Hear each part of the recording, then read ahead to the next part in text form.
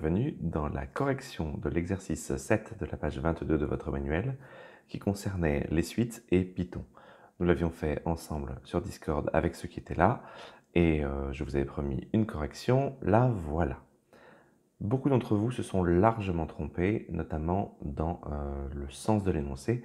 Je vais donc passer un tout petit peu de temps à réexpliquer l'énoncé en détail et pour permettre à ceux qui n'étaient pas là de rattraper. Alors, chaque année, une voiture perd en moyenne 15% de sa valeur. Je vous rappelle dès le début, parce que c'est important, que les pourcentages, ce ne sont jamais des pourcentages dans l'absolu. C'est toujours 15% de quelque chose. D'accord? Ici, c'est 15% de sa valeur. Monsieur Abel achète une voiture 19 500 euros et il souhaite la revendre dès qu'elle aura perdu 60% de sa valeur. Il la revendra alors qu'elle ne vaudra plus donc que 40% de sa valeur, puisqu'elle aura perdu 60% de sa valeur. Ce, l'algorithme qui est déjà préécrit sous Spider ici dans Python est euh, celui qui est dans votre manuel et c'est celui qu'on vous demande de compléter et qui doit vous aider à déterminer quand est-ce, à quelle année Monsieur Abel doit vendre sa voiture. Allons-y pas à pas nous avons plusieurs choses à compléter. Tout d'abord, cet algorithme, la première ligne que j'ai surlignée, là, la 3, elle dit def prix entre parenthèses p. Alors, ça veut dire que la fonction ici, là, elle s'appelle prix, super, et entre parenthèses, elle prend non pas rien, mais p, qui est un argument. Euh, c'est quelque chose qu'on va rentrer. Vous voyez que lorsque je le surligne, euh, il apparaît aussi ici et aussi là ça veut dire que la valeur que je vais rentrer entre les parenthèses seront automatiquement utilisées dans les autres endroits de P. C'est un peu comme la fonction input qu'on a utilisée. Ici, on le met en argument, on le met entre parenthèses, c'est quelque chose qu'on va rentrer dans le programme. D'ailleurs, pour aller plus vite, j'ai rentré ici euh, la commande. Vous voyez que je vais non pas appeler juste prix, mais prix 19 500. Pourquoi P sera le prix à laquelle j'ai acheté ma voiture? Ainsi, cet algorithme fonctionnera non pas que pour Monsieur Abel, mais pour un tas d'autres voitures, peu importe le prix, l'algorithme fonctionnera pour tous les prix P. Bien. Quel est le seuil à laquelle je vais vendre ma voiture? C'est-à-dire quelle est la valeur qui va déclencher la vente C'est ça un seuil, hein, c'est une valeur limite à partir de laquelle on fait quelque chose. Le seuil d'une porte, c'est la limite à laquelle on franchit euh, la porte. Donc le seuil, c'est euh, la valeur à laquelle Monsieur Abel va vendre sa voiture l'énoncé nous dit qu'il la vendra lorsqu'il aura perdu 60% de sa valeur. Alors sa valeur c'était P, on peut parfaitement écrire P moins 60% de fois P. Alors, déjà, vous avez remarqué que je n'ai pas écrit fois, mais que j'ai écrit une astérisque ici, évidemment parce qu'en Python il y a une astérisque, et que j'ai écrit 60% là. Si je fais ça, autant vous le dire tout de suite, ça ne fonctionnera pas. Rappelez-vous, ceci est un caractère spécial, et en Python, un pourcentage, ça veut dire reste d'une division euclidienne. Hors de question d'écrire ça. On va donc directement écrire 60% en décimale. Soit vous mettez 60 divisé par 100 fois P, c'est possible. Soit vous mettez directement le résultat, 0,6, qui fonctionnera très bien. C'est la première méthode. J'ai P, la valeur, auquel j'enlève 60% de P. Très bien. L'autre stratégie est de dire que je vais garder 40% du prix total. C'est plus simple, c'est plus joli, il y a moins d'erreurs de pourcentage. Ça veut dire que la valeur de seuil à laquelle je vais la vendre, c'est lorsque ma voiture aura, vaudra 40% de sa valeur initiale lorsqu'elle aura perdu les 60%. Bien. Ici, ligne suivante, année égale 0, je n'y touche pas, on ne me demande pas de le compléter. Ça sert à quoi? Ça sert à incrémenter le nombre des années, c'est-à-dire à les faire bouger au fur et à mesure. La question, je vous le rappelle, est au bout de combien d'années? D'ailleurs, ici, à la fin, vous allez sortir le nombre d'années. Donc il va bien falloir les numéroter, les compter ces années. Et on va évidemment commencer à l'année 0.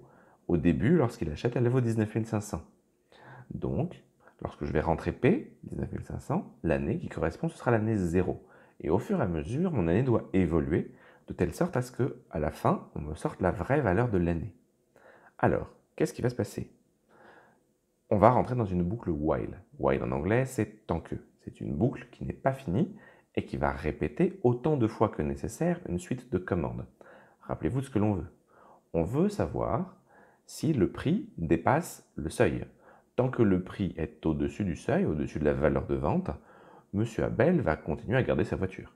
Et dès que le prix sera en dessous, il va la vendre. Donc tant que le prix est au-dessus du seuil, ça paraît assez logique, tant que le prix P est au-dessus du seuil qu'on a fixé, on va garder la voiture. Ça veut dire quoi garder la voiture? Ça veut dire que le nouveau prix va être l'ancien prix moins 15%. C'est écrit dans votre énoncé. La voiture va perdre à chaque année 15% de sa valeur. Donc on pourrait encore une fois écrire P moins 15% de P. On pourrait parfaitement faire ça. Ou alors, on pourrait écrire que le nouveau prix, c'est, au lieu d'écrire que c'est le prix moins 15% du prix, que c'est 0,85 fois P, 85% du prix restant. Ça revient au même, hein. qu'on garde 85% du prix restant ou qu'on enlève 15%, c'est pareil. Vous vous rappelez la différence entre les coefficients multiplicateurs, 0,85, et les taux d'évolution, moins 15%. On a largement travaillé ça, normalement vous êtes à l'aise, c'est fait exprès. Du coup, on sait que tant qu'on garde la voiture, le prix diminue de 15% à chaque tour. Et ce tour, c'est quoi? Bah, C'est une année. À chaque fois, on va ajouter une nouvelle année. Donc on aura une année supplémentaire. À chaque fois que je garde la voiture, je garde une nouvelle année et je reteste si ma nouvelle valeur est plus petite que le seuil ou pas. Voici maintenant l'énoncé entièrement complété. Je peux regarder ce qui se passe, l'exécuter. Regardons donc ce que nous donne notre programme. Réponse, j'espère que vous le voyez ici, 6. On pourrait même écrire, euh, pourquoi pas, euh, l'année de vente, pardon, sera l'année on laisse un espace, on met une virgule, et normalement, il devrait nous faire un beau texte. L'année de vente sera l'année 6. Bien. Vous avez donc la réponse à la question. Au bout de 6 ans, M. Abel vendra sa voiture. Pour vérifier cela, on aurait pu non pas utiliser Python, mais utiliser une calculatrice. Je vous montre, sous, avec la NumWorks, comment cela fonctionne. Vous avez défini une suite c'est-à-dire que vous partez d'une valeur de départ, 19 500, et chaque année, vous baissez de 15% cette valeur. Il suffit de regarder au bout de combien de temps dans une table cette valeur passe sous la valeur de seuil. Pour cela, il faut calculer à part la valeur de seuil. Alors on peut directement demander à Python de le faire. Par exemple, la valeur de seuil, c'est 40% euh, du prix de départ. Demandons-lui combien fait 40% de 19 500. Ça fait 7000 euros. Donc, 7800 euros, pardon. Lorsque la voiture vaudra moins de 7800 euros, lorsque dans la colonne de calculatrice j'aurai moins de 7800 euros, à ce moment-là, je devrais vendre la voiture. On voit en défilant que cette année, à partir de laquelle elle passe en dessous de 7800, c'est l'année 6. Jusque-là, pas de surprise, on peut le faire avec le menu table de la calculatrice. Si vous avez d'autres modèles, vous pouvez vous référer à votre manuel pour savoir comment on se sert du menu table de la calculatrice. Passons maintenant à la question petit 2, puisqu'on vient de faire à la fois la 1, A et B. Donc, petit 2, le vendeur propose à M. Abel de lui reprendre sa voiture dans 5 ans au prix de 8500 euros. La question qu'on se pose est radicalement différente puisqu'on nous demande d'adapter le script précédent pour aider l'acheteur à faire son choix, c'est-à-dire, sous-entendu, à savoir si oui ou non, au bout de 5 ans, on va vendre la voiture à, au vendeur, on va lui revendre. Pour cela, j'ai défini une nouvelle fonction que j'ai non plus appelée prix, mais appelée choix. Si oui ou non, M. Abel va lui vendre. Et j'ai déjà pré-rempli choix avec le prix de départ 19 500. Donc ici, on a un prix de départ le seuil ne va plus être du tout le même. Le seuil de décision, ça ne va pas être savoir si la voiture a perdu 60% de sa valeur. Peut-être qu'à un moment donné, il sera plus intéressant pour M. Abel de vendre la voiture au vendeur. C'est ça la question. Donc le seuil, c'est ce que lui propose le vendeur. Est-ce que on va être intéressé par un seuil de 8500 euros, ce qui est ce que nous demande notre vendeur? Mais ce seuil, il n'est pas à une année qu'on ignore. On ne va pas ici chercher le nombre d'années. Cette valeur de vente, c'est écrit dans l'énoncé, c'est 5 ans. il nous la reprend à la cinquième année. Donc ce que doit faire le, programme, c'est chercher est-ce que c'est plus intéressant à la cinquième année de le vendre au vendeur ou de la garder? Pour cela, on ne va plus utiliser un while, mais puisqu'on sait exactement combien d'années il va falloir, on va utiliser un for. On ne veut pas savoir combien d'années, donc on n'a pas besoin de commencer à zéro. On va dire que le nombre d'années va bouger dans range 5. Vous vous comment ça fonctionne range? Ça veut dire qu'on va faire une boucle qui va faire 5 tours l'année 0, l'année 1, l'année 2, l'année 3, l'année 4, etc. On simulera 5 années passées. A, in range 5, ça veut dire qu'on va faire 5 fois la boucle, c'est exactement ce qui nous intéresse. Ici, on est dans une boucle finie, on sait exactement où on doit aller. Le while n'a plus d'intérêt, c'est un for qu'il nous faut. Alors là, pour le coup, rien n'a changé. Le prix, à chaque année, à chaque tour, à chaque boucle, il va tout de même baisser de 15%, c'est-à-dire qu'on va conserver 85% de la valeur initiale. Ça, ça n'a pas changé. Du coup, maintenant, qu'est-ce qu'il va falloir faire? Et on nous demande de faire un algorithme de choix. Bon, ce que je vous propose, pour bien montrer ce qui se passe, c'est d'imprimer, c'est pas du tout nécessaire, hein, la valeur de P à chaque tour. Pour bien qu'on se rende compte ce qui se passe, c'est tout à fait facultatif. Une fois que ça a tourné, on va se demander, à la fin des cinq années, qu'est-ce qui est le plus intéressant? Alors du coup, eh bien, demandons directement à Python de nous l'étudier pour nous. Alors, on va faire une boucle, pas une boucle, une instruction conditionnelle if. J'arrive pas à me mettre au bon endroit, ça va pas aller. Alors, if. Donc, regardons ce qui se passe euh, si j'ai une instruction. Alors, qu'est-ce qu'on veut?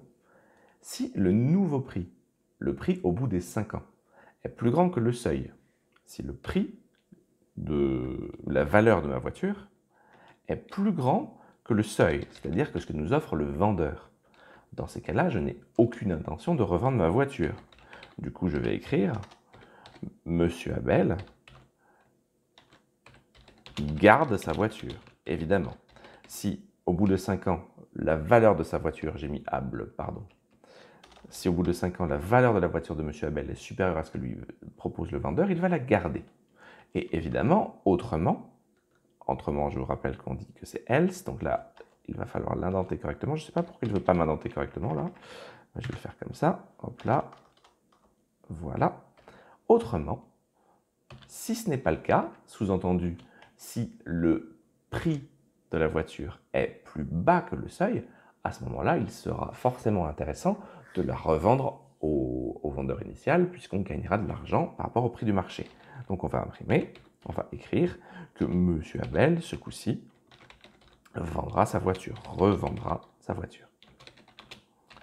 Et ici, c'est tout. Le choix va nous écrire soit qu'il va vendre sa voiture si garder sa voiture, si le prix de la voiture est plus intéressant que le seuil au bout de 5 ans, soit il va nous écrire que on revend la voiture, sinon, c'est-à-dire si le prix de la voiture est plus petit que le prix de vente de notre, euh, de notre revendeur. Alors, normalement, ça doit fonctionner. Voyons ce qui se passe. Parfait. Alors, on nous dit, Monsieur Abel garde sa voiture. Sous-entendu, l'offre du vendeur n'est pas intéressante. Vérifions cela. Le vendeur proposait 8500 euros. Et c'est quoi le prix? Bah, Vous savez qu'on commence à 19 500. Et la première année, elle vaudra 16 575. La deuxième, 14 088, etc. Troisième, quatrième. Et la cinquième année, elle vaudra un peu plus de 8 652 euros. Les 8 500 euros du vendeur ne sont pas intéressants. Donc, M. Abel gardera sa voiture. Voilà pour la correction de cet exercice. J'espère que vous avez tout compris. Sinon, gardez vos questions et on en reparle très bientôt. À bientôt.